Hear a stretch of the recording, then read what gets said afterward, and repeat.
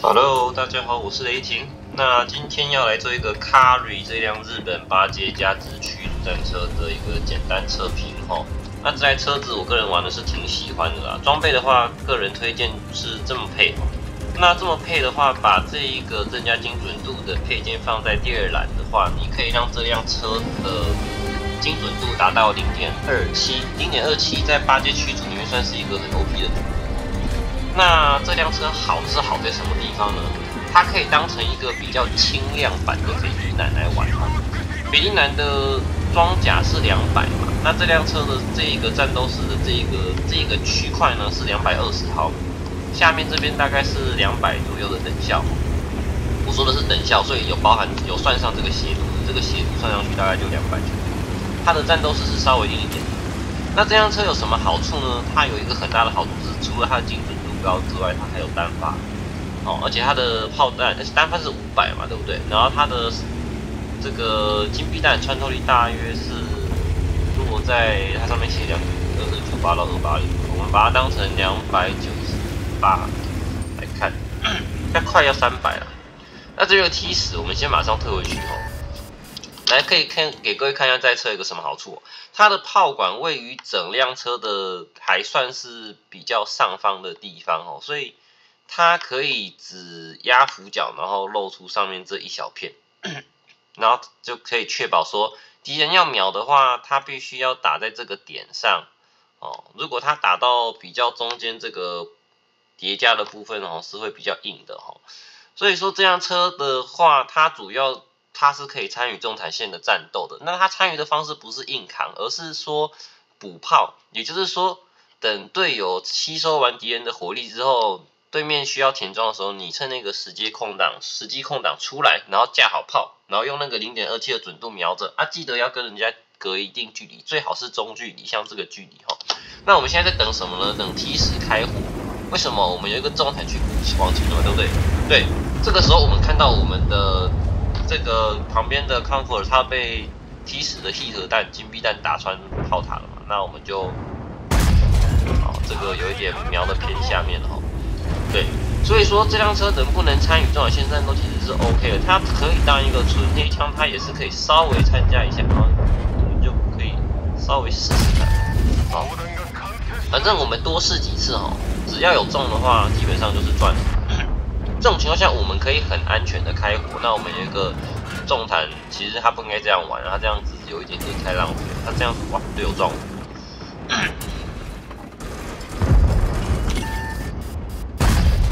啊，队友一直卡我，害我真的是不太好瞄啊。这个七零三，七零三其实跟这个 T 十，他不应该卡这个位置，因为什么？七零三的头其实 T 十的金弹可以爽穿。我我讲真的是可以爽穿。那我们就是要瞄 T 十的车长塔哦。我们现在是有想说上一下金币弹，但其实不用上金币弹也是可以的。你看穿了四百五十六，哦，这是一一些一般的八阶驱逐坦克比较难做到的事情啊因为一般八阶驱逐坦克，像你说像蝎狙或者一三零天，他们没有装甲，所以他们。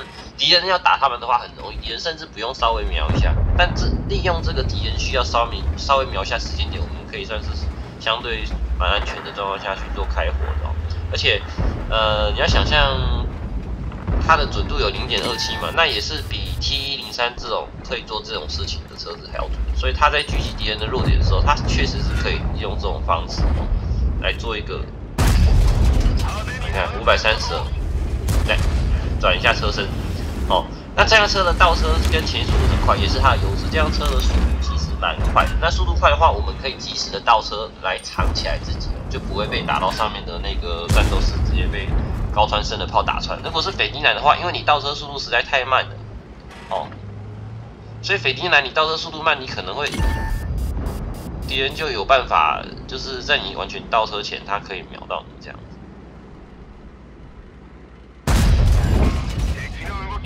要是达到他的那个观测装置，没关系，我们就多试几次。我们现在开始上 AP 了，因为我发现我们根本就不用用金币弹，我们都是用透透过瞄弱点的方式。那如果都是瞄弱点的话，你其实不管上金币弹，你开始你看，就是银币弹就可以穿了。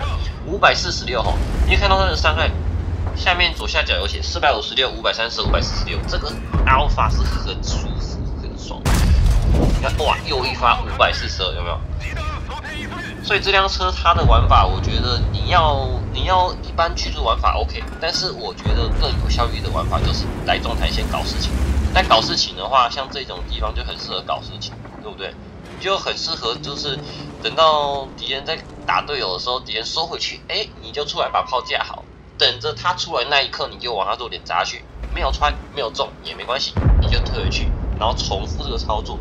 那基本上你就能打出一个还不错的伤害。你看这个小东西，它也可以打到。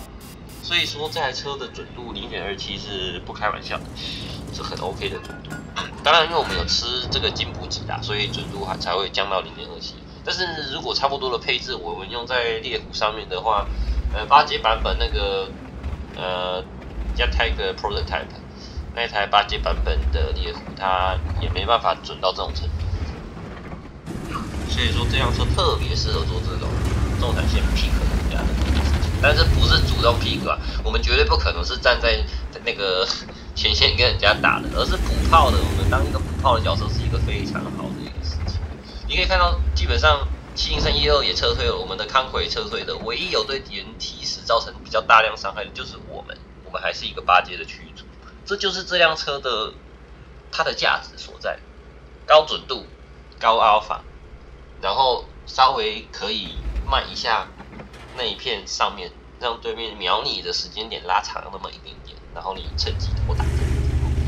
那他这个装甲对于这种九阶长这种高阶的穿高穿身的 T 十的金币弹，各位都知道 T 十的金币弹好像三百三还三百四穿身是很恶心，他随便只要碰到我们就会穿，所以我们不能让他碰到，一定等他等他开出来正在瞄准我们的时候我们就打了。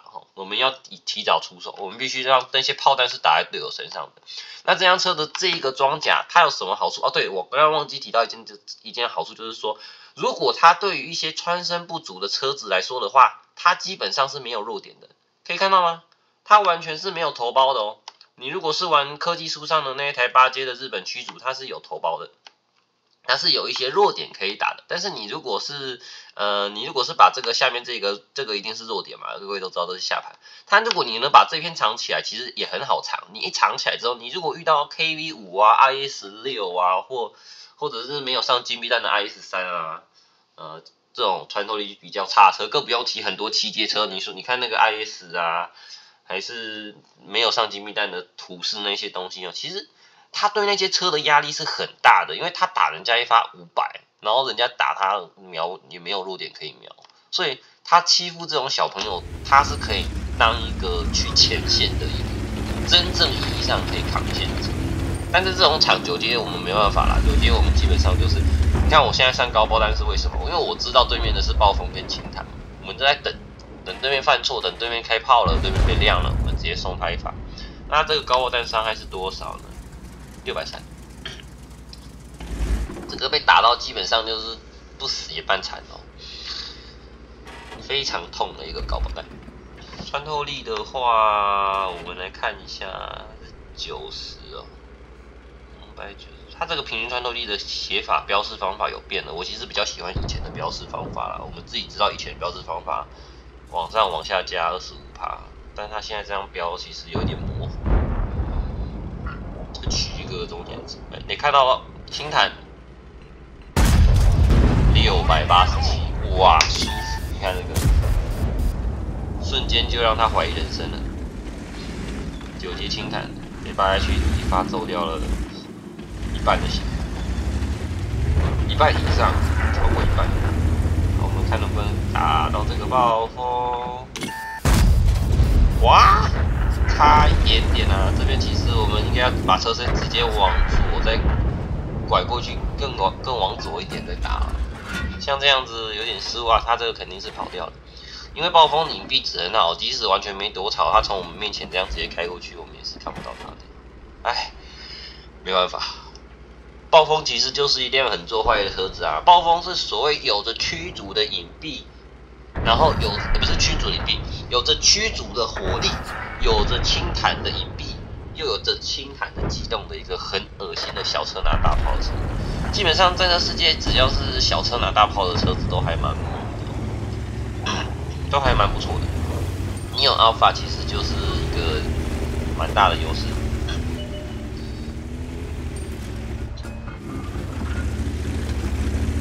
那我们利用，因为已经场末了嘛，已经感觉七比二已经打到后来了，就想办法走出来多打一点伤害，然后利用左边这个岩石，可以看到我其实是有在看地图的，我不会笨笨的走出来，我是因为知道这边可以挡，所以我们就开到这个位置，刚好把左边的这个暴风挡住，这边肯定是驱逐或者是暴风跑过去躲着，那我们看能不能用高爆弹赏这个 R 拳，他现在没没空理我们，这边。他突然又往前了哈，我们没关系，我们继续等，总有时机让我们送他高爆弹的。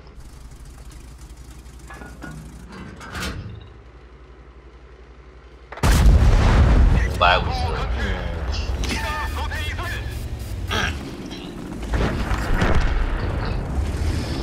那这边其实我们的决定，也就是有一点好笑了。我我们会之所以会往前，我们明知道这边会有暴风嘛。你看这地图上就有标暴风是躲在这里，在黑墙。我们我的想法很简单啊，第一个就是我觉得我们这辆车也有两百多的装甲，应该能扛住暴风的炮弹，除非他用金币弹打我们的弱点之类的，或者是打这个区块。哦，我觉得我的我们有一定应该可以扛住他。我我的想法就是，我想说从这边开出去，我先送他个一发两发，反正我们是满血，他两发打完我们都死不了。趁他在打我们被亮的时候，我们还击他，用高爆弹还击。哦，这是我的想法，可是实际上没那么容易做到，因为那个暴风也是冲。呃，我想说，哎，喵喵喵喵喵，哎，来不及。他打完这两发到他被亮的时间中间的间隔，哦，没有想象中那么快。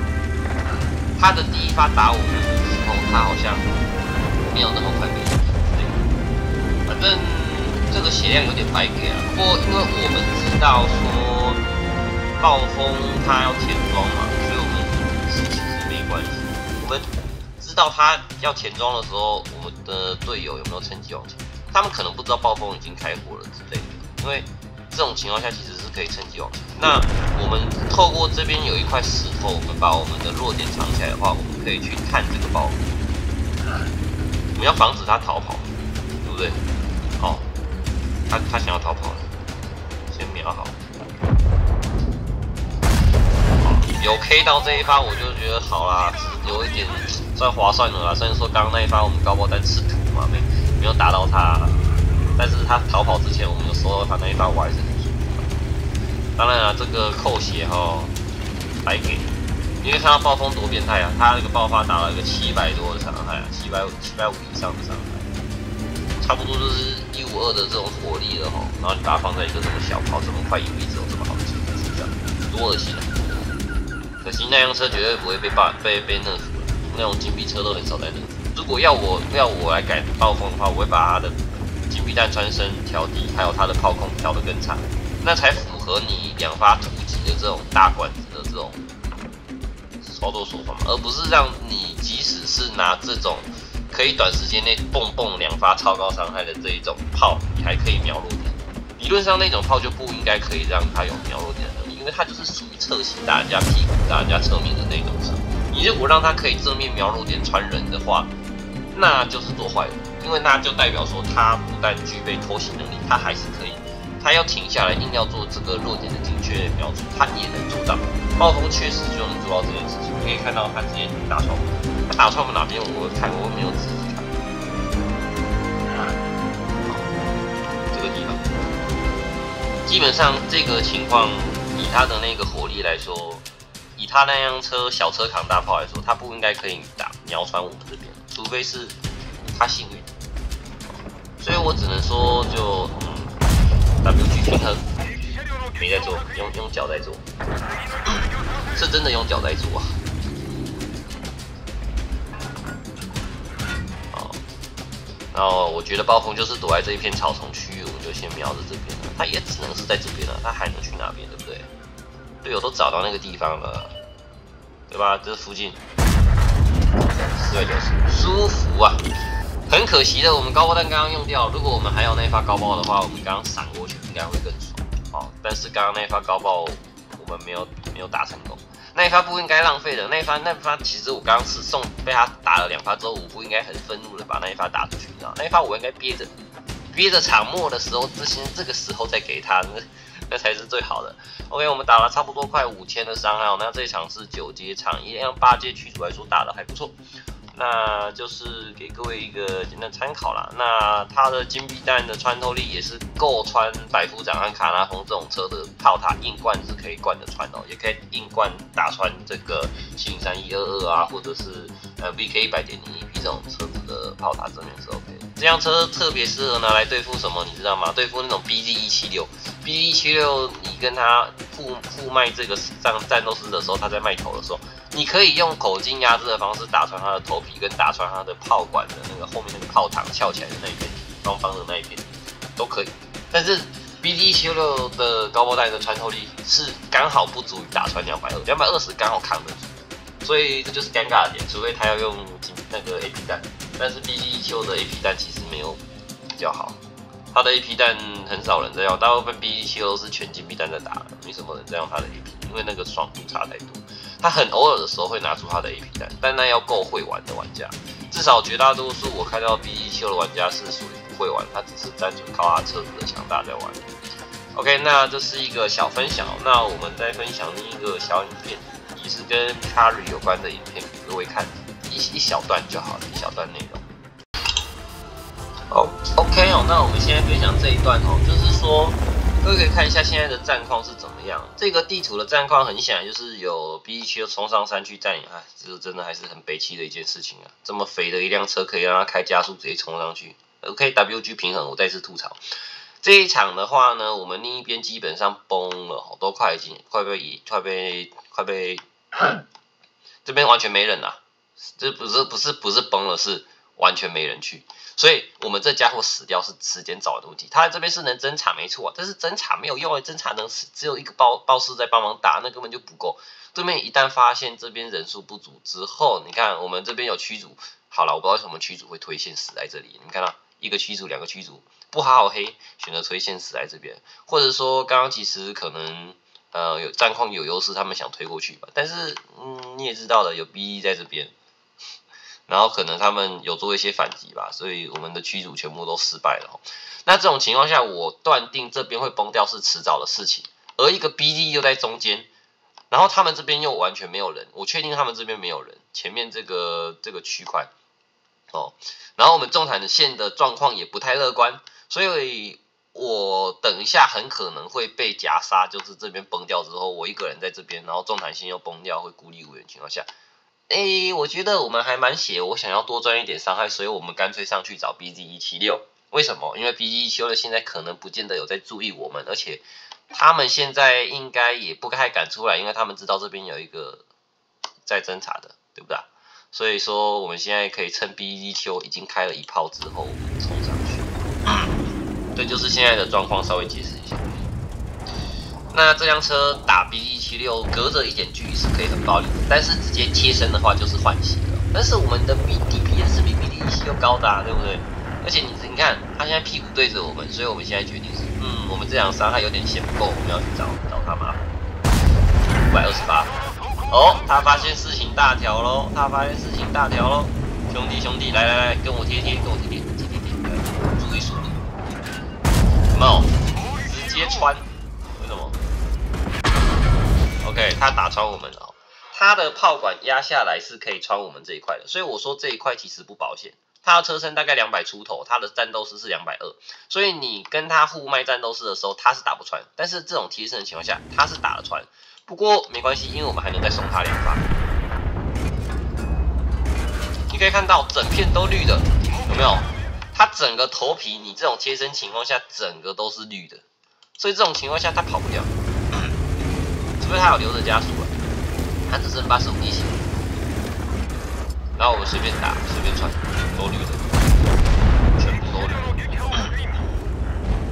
那这样我们后来好像也也也挂掉了啦。不过就是分享这一个小片段给你看，我们把把 P D 七死掉之后，这边很爽，一百三十六，他大象从这边出来嘛。这场反而是有炮车在一直在炸我，所以让我。战斗时，枪就弹弹掉一把。然后真的是一直被自由炮针对，我们也没办法，我们都血量。他一直在压制我们，一直被炮车炸。然后你看我们泰哥会吐在的地方，早早跑回家。这个泰哥怎么很负责任的跑？